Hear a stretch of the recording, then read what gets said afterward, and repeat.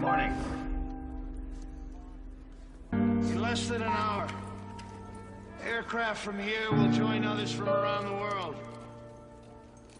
And you will be launching the largest aerial battle in the history of mankind. Mankind, that word should have new meaning for all of us today.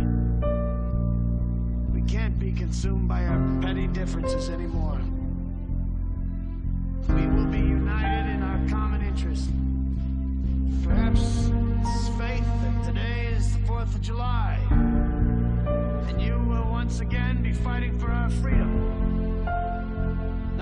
Tyranny, oppression, or persecution, but from annihilation. We're fighting for our right to live,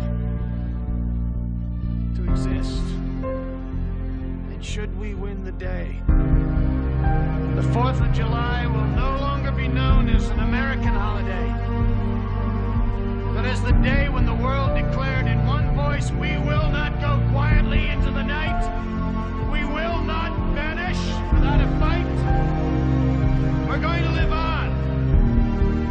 to survive. Today, we celebrate our Independence Day.